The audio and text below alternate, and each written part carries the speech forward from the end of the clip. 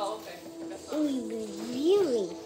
You're done stuff, you really want to. But I have to be able to go on the hmm. history and the hmm. The picture that good. Bhutan. Yeah. Correct. Three points to Hufflepuff. The Kingdom of Bhutan. Sits high in the eastern Himalayas. It's a place see. Of gotta move back a little bit. indescribable Mommy, what I beauty. mean by Some of them Oh, you're drinking it. its origins there. at least cut them. They say if you listen Cut them carefully It also happens to be where the election my review, guys. Bye. Only a few days ago, he was a fugitive from justice. Now he is an official candidate Bye. in international.